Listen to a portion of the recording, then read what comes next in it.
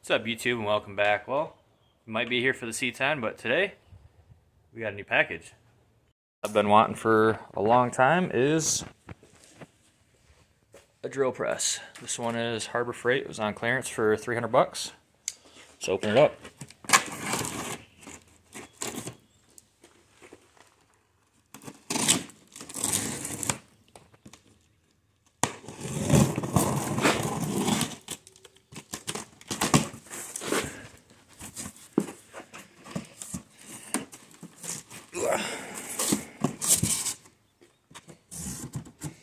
So I'm going to pull everything out because I don't have a camera guy because I don't think he'd be very good at it. And we will look at the parts. On top, this is cast. Obviously, it's a really rough cast, but I mean, it's a cheaper drill press. This is pretty light, in my opinion. Uh, the motor itself is fairly decent. Let's see. Here's the stand part for it. That'll go on there. Go ahead and get this bolted up real quick. That is bolted down. They just bolt to the top. It is a 5 eighths. So now we're going to go ahead and put the stand piece in. I don't know, but I would probably call this really light duty. Uh, I feel like exhaust tubing might be thicker than this, or this is exhaust tubing, but polished. So we're gonna go ahead, put this in. Tighten down your two set screws.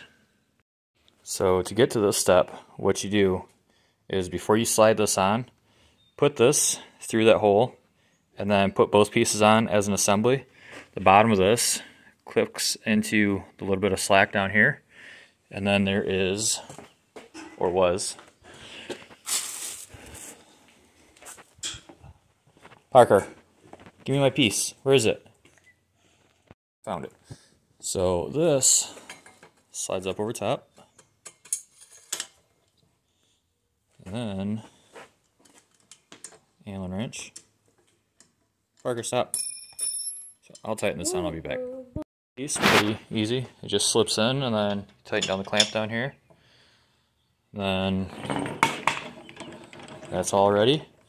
Now the fun part, getting the motor on. So I'm not sure how hard that's gonna be to get up here because this is like I don't know four and a half feet tall. It's actually a lot easier than I thought. It just sits on top. Over here you got your set screw and then helper. Go ahead and screw our handles in.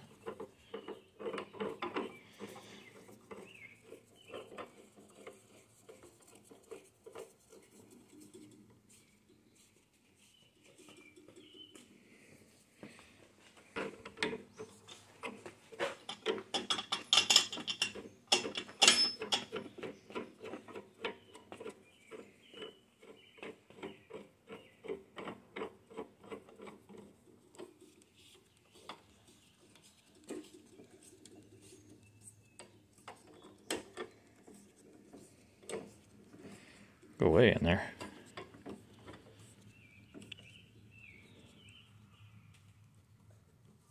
Can I have this one, babies?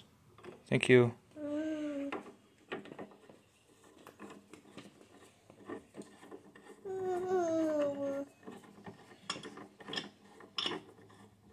Up the top cover, you get this little knob. This goes right here in this hole. Need both hands for that, but uh, it's actually pretty simple to get your speeds. It's got your belt settings right there. I think it was set on uh, 1620 and that is way too fast for anything I want to do. So I set it to 360. Pretty simple. So whatever smaller pulley is, like, I mean, both end ones, what you do, you just pick up on the belt, you spin it, just like a bicycle chain pops off, adjust it, and then look at your diagram for the speed you want to use. Just walks right back on. This one is on a cam lobe, I guess. So it'll do all that stuff. So that is pretty much it, uh, except for the chuck. Chuck comes in this nice little oiled up box, I guess.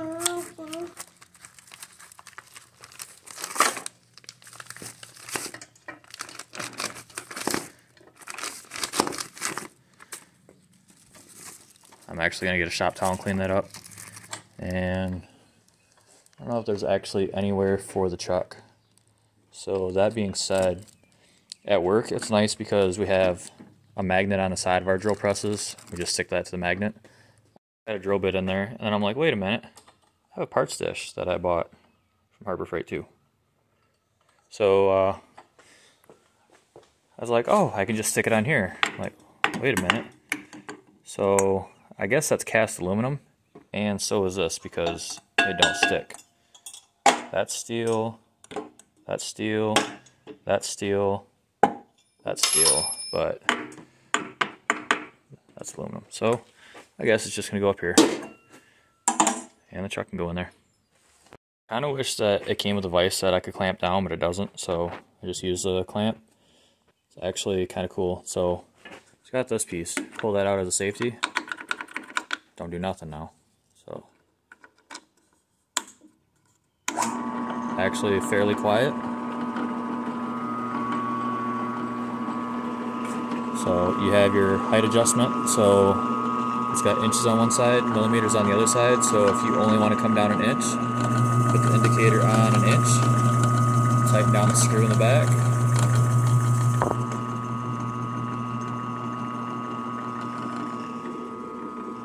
Stops at an inch.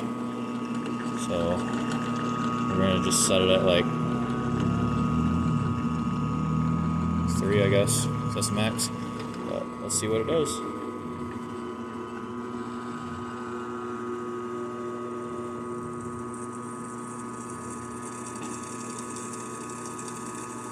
drill bits aren't really the best, but doesn't sound like the motor's struggling at all.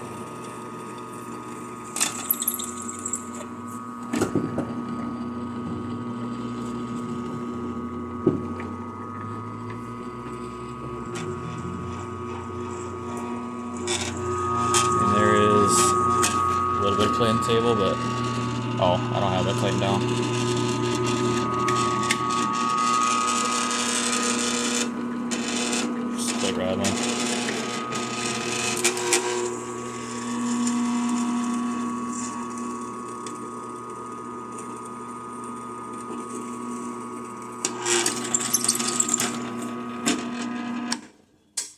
I would say for a cheaper beginner drill press, I would suggest it. Uh, the only thing I don't really care for is the fact that the table is aluminum and how much play there is when uh, this isn't clamped down because it's I don't know. But overall, I think the best thing to do would probably be bolt this to the floor or put it on a pallet so that way it's not going to tip over because it's kind of top heavy. And with little shop helpers like this, you don't want stuff to top heavy that's not tied down anything. So if you like videos like this, check out our uh, tool time playlist because I'm going to start one like, comment, share, subscribe, and uh, see you on the next one.